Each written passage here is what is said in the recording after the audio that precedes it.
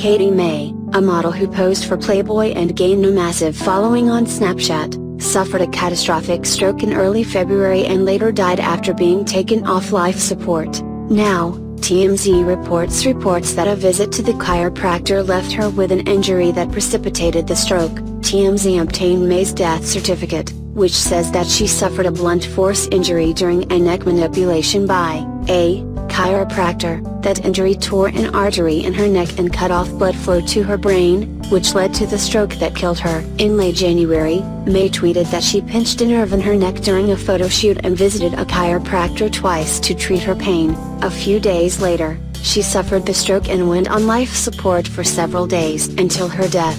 Katie's family is aware of the reported cause of death but wouldn't say whether they are considering legal action.